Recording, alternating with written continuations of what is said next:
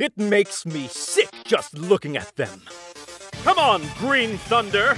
Let us put an end to these foul demons! Hey, kid. Uh, maybe it's the way I'm dressed. Don't forget to stay the perky.